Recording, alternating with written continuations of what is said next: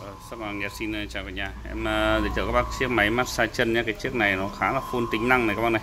Một cái con máy mà khi mà các bác bóp Có bóp ở đây nhé. Và đặc biệt con này có cả bi chạy ở dưới này Bi chạy dưới gan bàn chân luôn. Con này thì nó có hai cái bài hai bài lập trình tự động.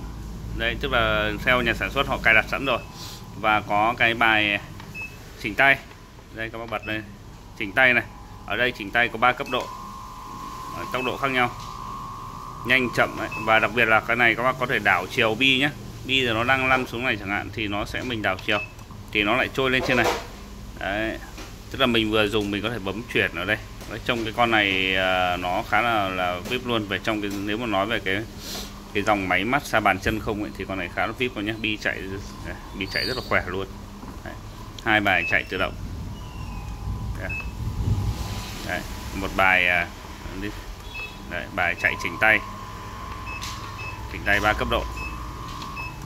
Đảo bi. Đấy, trước này bán là một triệu rưỡi nhé bác nào có nhu cầu thì các bác uh, liên hệ.